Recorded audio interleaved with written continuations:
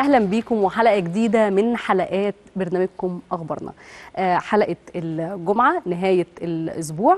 أجازة سعيدة إن شاء الله على كل الزملكاوية وكل المصريين يا رب في كل مكان.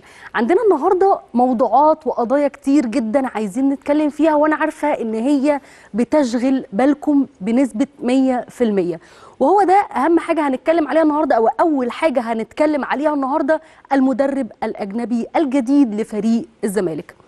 الإدارة أعلنت أن المدرب الجديد هيكون متواجد في مباراة الوداد آه، اللي جاية في دوري أبطال أفريقيا. لكن في الوقت الحالي في سرية تامة وفي تكتم شديد جدا جدا على اسم المدرب. آه، ده حاجة إيجابية وصح جدا وإحنا مأيدين ده جدا. لكن مش دي النقطة اللي إحنا عايزين نتكلم فيها. أيا كان بقى إيه اسم المدرب إحنا اللي عايزين نتكلم فيه إحنا عايزين إيه من المدير الفني الجديد لمستقبل نادينا الزمالك. آه، أول حاجة إحنا عايزين يعني آه، نطلبها من المدير الفني الجديد أنت قدامك منافسات كتير. عندنا مشوار طويل جدا إحنا لسه بادئينه في كل البطولات. آه، مطلوب منك إنك أنت تنافس على كل الألقاب سواء بقى كان في الدوري وإحنا عندنا دلوقتي يعني موقفنا كويس 22 نقطة ولسه عندك 24 مباراة كمان للزمالك. وإحنا عندنا أمل الصراحة كبير جدا جدا إن إحنا نقدر نحقق اللقب آه وإن إحنا نحافظ على البطولة اللي إحنا قدرنا إن إحنا نحققها الموسم اللي فات وبجدارة. كمان عندنا بطولة كاس مصر بالإضافة إن إحنا عندنا ثلاث ماتشات مهمة جدا جدا جدا في دوري أبطال أفريقيا أمام سجرادا الانجولي والوداد المغربي وبترو أتلتيكو الانجولي وإحنا ما عندناش خيارات في في في كل ال- البطولات اللي إحنا داخلينها غير إن إحنا نفوز بالذات في دوري أبطال أفريقيا آه، مطلوب إن أنت تفوز في الثلاث مباريات دول عشان تضمن إن أنت تتأهل لدور آه، الثمانيه وده من أهم آه، البطولات لجمهور نادي الزمالك. ما ما- يعني ما نقدرش ننكر تماما تماما إن آه لأ المهمة صعبة جدا لكن مش مستحيلة. آه المدير الفني اللي جاي هيبقى عليه مسؤوليات كتيرة وضغط كتير ولكن المهمة مش مستحيلة في نفس الوقت ولكنها ممتعة. آه نادي الزمالك ما يعرفش يعني إيه مستحيل ومن المميزات اللي هيتمتع بيها المدير الفني الجديد الجمهور. جمهور الزمالك اللي دايما دايما دايما هيبقى في ظهرك. تاني حاجة مطلوبة منك دم جديد. إنك تختار لعيبة جديدة. الدم الجديد بينعش آه، الفرقة من تاني. ودي واحدة من المهام الكبيرة قوي التي تقع على عاتق المدرب الجديد. انت لازم تتابع الدوري الممتاز كويس جدا ولازم يكون لك دور في اختيار الصفقات الجديدة. إحنا عارفين إن آه، التجديد والإحلال من وقت للتاني دي سنة الحياة وده أمر طبيعي جدا لأي فريق وبتحصل دايما. لكن الوضع المرة دي مع الزمالك مختلف تماما. ليه بقى؟ الزمالك لم يتعاقد مع أي لاعب من يناير 2021 بسبب عقوبة منع القيد لفترتين.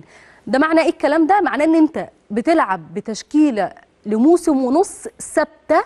في نفس الوقت أغلبية اللعيبة دي موجودة من سنين مع الزمالك يعني كتر ألف خيرهم. وعلى فكرة هم فعلا لعيبة آه، قد الثقة جدا لعيبة مميزة جدا لعيبة مهمة جدا جدا جدا. لكن لازم يكون في تدعيم برضو بصفقات جديدة وزي ما قلنا يبقى في دم جديد داخل آه، النادي وفي مراكز مختلفة. المراكز المختلفة أو تدعيم الصفقات اللي إحنا بنقول عليها دي طبعا يبقى مع المجموعة اللي هي موجودة. لكن أنت بتتكلم برضو إن أنت محتاج مثلا على الأقل على الأقل 8 صفقات آه، جديدة. دي برضو من أكبر المهام آه، اللي هتقع على عاتق طبعا المدير الفني الجديد. تالت حاجة آه، آه، برضو من المسؤوليات الكبيرة جدا والمهمه جدا مراقبة المعارين وتحديد العائدين. آه، دي كمان من المهام الصعبة اللي بتنتظر المدرب الجديد وإن هو وقتها لازم يتسم بالعدل الشديد. آه، آه، الزمالك في السنين اللي فاتت قدر فعلا إن هو يكسب آه، من وراء إعراض لعيبته ومن أهم المكاسب دي هي المكاسب الفنية. ليه؟ لأن اللعيبة آه، اكتسبت خبرات وقدرت إن هي ترجع النادي وقدرت إن هي كمان تتألق بشكل كبير جدا إن هم بيلعبوا كتير وبيشاركوا كتير فده طبعا بيكسبهم آه، خبرات كبيرة جدا في أرض الملعب. يمكن أشهرهم على الإطلاق مصطفى محمد اللي احترف في أوروبا. لكن عندنا نماذج أخرى برضو في أندية آه، أخرى. عندنا آه، عمر كمال عبد الواحد نجم فيوتشر وزميله محمود جنش حارس المرمى المخضرم. كمان عندنا مروان حمدي هداف سموحة وتاني هدافي الدوري. والحقيقة اللي اتطور مستواه جدا جدا الموسم آه، الموسم اللي إحنا فيه ده. كمان عندك محمد صبحي الحارس المتألق جدا برضو مع فاركو. ودول على فكرة قوة ضاربة جدا للزمالك. وكل جماهير الزمالك عايزة تشوفهم الموسم الحالي. اللي إحنا عايزين نقوله إيه؟ آه اللي إحنا عايزين نقوله إن باختصار كده كان الله في عون المدرب الجديد. آه مهمة صعبة ولكن زي ما قلت لكم هي فعلا ممتعة جدا. والمدرب الجديد لازم يبقى عنده بعض القواعد الثابتة تماما. آه، زي كده بنقول إيه؟ في حاجات كده مسلمات هي ما فيهاش تغيير. أول حاجة إن أنت بتشتغل في أحد أكبر أندية الوطن العربي وقطب الكرة المصرية. تاني حاجة آه لازم برضو يكون آه حاطط عينه عليها وفي الاعتبار دايما جماهير نادي الزمالك.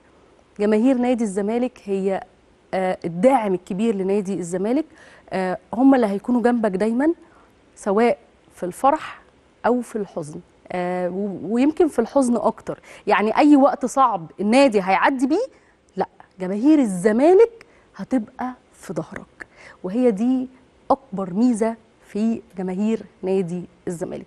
تالت حاجة بقى وبرضو من الحاجات المهمة إن أنت معاك مجلس إدارة منتخب وهيدعمك بقوة كبيرة جدا وهو اللي اختارك وأكيد أكيد هيقف في ظهرك بكل قوة. وبرضو أنت معاك آه، معاك جماهير بالملايين هتقف جنبك وهتفضل معاك. رابع حاجة برضو عايزين آه، يعني من القواعد الثابتة إنك أنت بتلعب على كل البطولات وهي دي سنة الحياة مع نادي الزمالك. خامس حاجة العدالة. العدالة هي أهم شيء في التعامل مع فريق الكرة واختيارات اللاعبين في النهاية. كده أنا كل كلامي آه عن المدير الفني الجديد انتهى.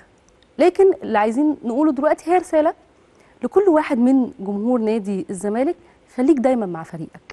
امنح مدربك الجديد الوقت والثقة ليعمل دعمه ودعم لاعبيك والقادم أفضل إن شاء الله إن شاء الله لنادينا الزمالك. آه عايزين بقى نتكلم إن بمناسبة الفوز الأخير على فيوتشر بنتيجة 3-2 في منافسات الدوري تحت قيادة ابن النادي أسامة نبيه وهو بداية الطريق الصحيح للفريق في 2022 وإن شاء الله رب تبقى آه سنة سعيدة علينا آه في بدايتها صعبة شوية.